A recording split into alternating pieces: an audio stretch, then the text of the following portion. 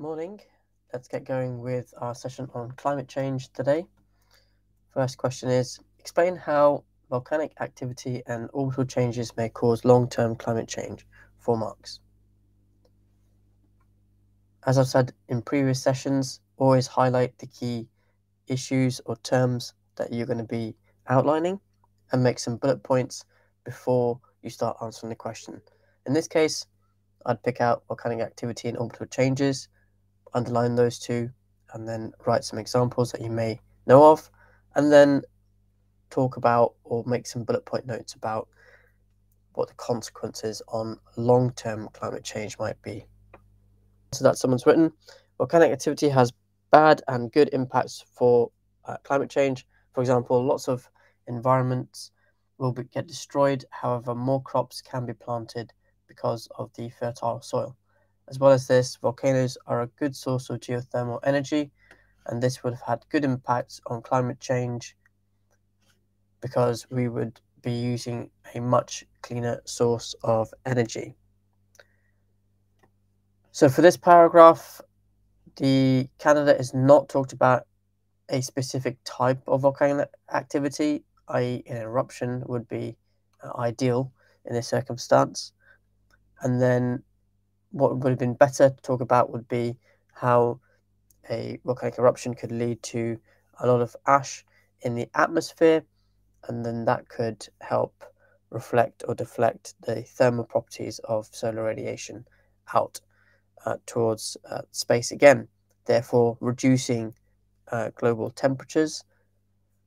Now, the impact of that would be somewhere between up to a year or up to 10 years if it's a uh, VEI 8 style eruption like Mount Pinatubo. However, um, longer term beyond that, uh, its impact would not uh, be that great. Um, Canada talks about, as well as this, volcanic source of geothermal energy. Not sure what the relevance of that is. This would have good impacts on climate change because it would bring much cleaner source of energy. Um, so a misunderstanding of what the question is asking for, but also a misunderstanding of what volcanoes uh, are capable of doing. So overall, this would not get any marks in the exam, most likely. Next answer. Volcanic activity leads to a large release of greenhouse gases such as CO2, methane, and nitrous oxides, and more.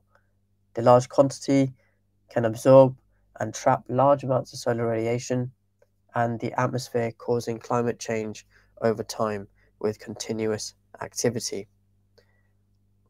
So, in this uh, opening few sentences, the candidate has talked about what impacts volcanic activity can have, but also it, um, it identifies what some potential consequences could be.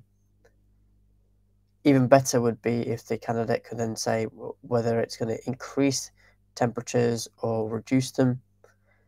However, for a GCSE style answer, this probably would be sufficient. Orbital change, like the rotation of axis the Earth spins on, can lead to long term climate change as more solar radiation is absorbed due to being in closer orbit to the Sun. So that demonstrates that the candidate understands how uh, the orbit works, as well as the fact that the Earth is spinning on an axis. And there are times because we have an elliptical orbit, and it would have been better if that had been mentioned in the answer, because we have an elliptical orbit, orbit around our sun, at some points we are closer, at other points we are further away, and this could have um, temporal changes on um, change in climate over time.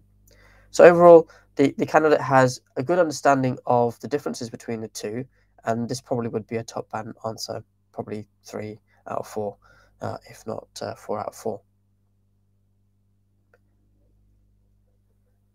The eruption of volcanoes in areas of tectonic activity can lead uh, release large amounts of carbon dioxide to be emitted into the atmosphere. For example, Eyjafjallajökull emitted millions of tons. As a result, there is an increase in the amount of long-wave radiation from the Earth being absorbed, leading to increases in enhanced greenhouse effect and thus global temperatures. this is a excellent opening few sentences. The candidate has identified what uh, volcanic activity can do in terms of emitting gases into the atmosphere, also identifies a specific example, and then talks about the impacts this has on solar radiation coming through. The next paragraph, in regards to orbital changes in Milankovitch cycles, that's really good. Candidates identified a key geographical term, changes to orbit's eccentricity, making the Earth's orbit more or less eclipsed. Causes the Earth to experience periods of more or less solar radiation, thus changing temperatures of the Earth's atmosphere when absorbed by the Earth and re-emitted as long-wave radiation. So that paragraph is also excellent, identified a key relevant uh, theory and talked about the impact it has on temperatures as well as the atmosphere and so forth uh, on planet Earth. Overall, this would be a top band answer. So, time for you to go away and answer this question, explain how volcanic activity and orbital changes may cause long-term climate change. Four marks in total. Remember to outline the key elements of the question you might be wondering if you need to have a conclusion for this. You certainly don't. For four markers, you just need to explain something and uh, that will be sufficient. So remember, keep doing these practice questions. There's more to come uh, tomorrow and uh, we will go through a, another uh, example of a exam question. In the meantime, if you do have any questions about um, wanting to cover something new or different, just let me know in the comments and I will um, make a specific video for you uh, regards to that. Otherwise, have a great day and keep on revising.